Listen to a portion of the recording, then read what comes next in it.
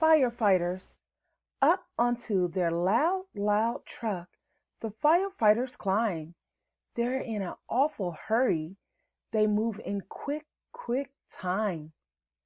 They're going to put out a fire, help is on the way. They'll get there with their water hose and spray and spray and spray.